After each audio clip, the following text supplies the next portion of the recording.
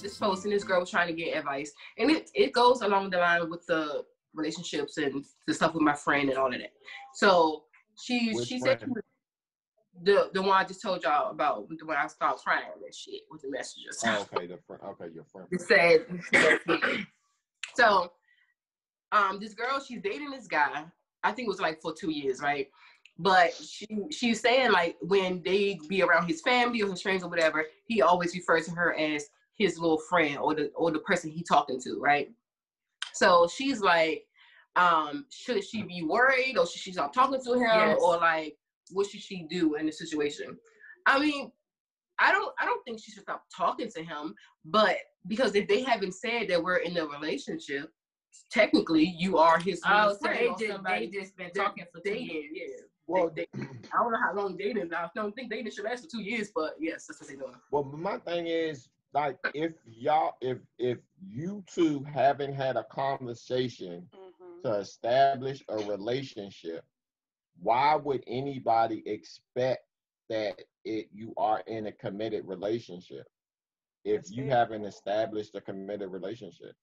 Y'all just been hanging out. You you you just gonna assume the person is committed to you? Yes. Um, I, I think that, I think I think that after a certain amount of time, like you don't you don't have to like speak on a what say. Oh, let's sit down. and It's have a like an conversation unwritten all rule. No, together. all right, but Like, if we- okay, but we have- boom, if if I've been with a girl and then I feel like she's my girlfriend or I'm going to treat her like this, I'm like, hey, you want to be my girlfriend or I want you to be my girlfriend. What do you feel about this? Like, would you Mhm. want to be with me? Or why couldn't a woman just do the same thing? Um, I think I think women should. I absolutely think they should. I- I think you Yeah. should express yourself, whatever you feel in the moment, or, or if this person makes you happy, then say that. I think everybody should because not not to sound all like whatever, but I think life is too short, and if you want something, then you should go for Yeah, it. absolutely. And if if you throw the ball and, and then it fall and you fail, then okay. But at least you told the person. Like that's what I was trying to tell to my friend when she with her situation. Like at least you said what you had to say to him. Mhm. Now it's his decision if he gonna accept it or if he wanna go away. And um, but with with this with this girl, her situation, like I don't think she should leave him because if if I'm with somebody and we ha- we have and we're we're dating and it's two years, whatever. I, I'm not gonna care if he's like, oh, this my friend, whatever.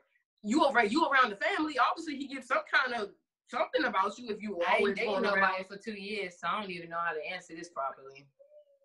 I That's mean, dead. Well, my thing is, you would say, "Hey, what's going on? Are we together? Or you my girl? Or you damn would- right. right? You gonna establish that? That's You my It's a thing. really long time. I- Like I can after three or four well. I would- months. I would be like, listen, you know, long? I know that you, we know we don't have to get in a relationship right now, but I think we should date exclusively. You know what I'm saying? I feel like that is like you meet, you date, you date exclusively because some people date more than one person at a time. Mhm. Y'all, yeah, once y'all establish like, okay, we're gonna date exclusively. I, I nah, you don't gotta call me your girlfriend, but this is blah blah blah. Don't say this is my friend, blah blah blah. For what? Mhm. I ain't your friend. You eat my pussy from the back every night. I suck them balls. No. yeah, but Like that's and- what essentially that's what I would have said to her. I mean, that's what I would have said to him if I was her. Get out of here. Mhm. But and, and then I don't I don't understand why people always asking questions like what are you, what are y'all? What are you doing? Like this is our business. We are us. we are us. Well, no, I think I think when especially when meeting a new group of people, you should Mhm. establish like boundaries because if you're just a friend, like it might be other people in the group that. So Right, I it can be all fair perfect example. We just talked about this on the other podcast. Boom. Uh, it's with guys though. It's two guys at uh Taddy's job fighting over another young lady that's at the job.